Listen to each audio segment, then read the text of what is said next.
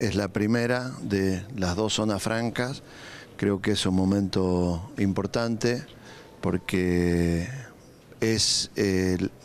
las dos zonas francas la que tiene el diferencial y es de venta minorista. Se ha presentado una oferta y bueno, yo creo que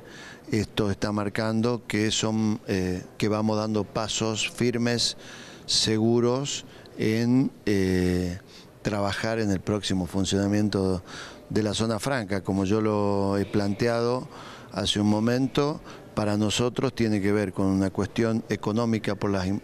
inversiones que va a generar no solo de empresarios locales, que vamos a trabajar para capacitarlos, sino también en, la economía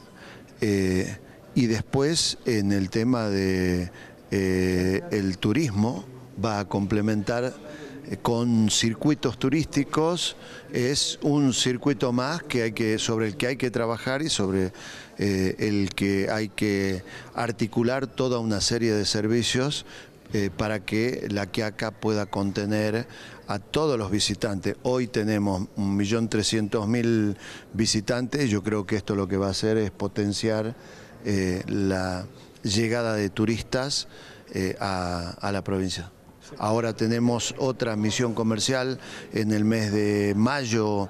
a China y vamos a trabajar en la incorporación y por supuesto en poder lograr eh, que se articulen con empresarios jujeños que puedan ser representantes de fabricantes que son gigantes y que quieren incrementar su comercio con toda América Latina. ¿no?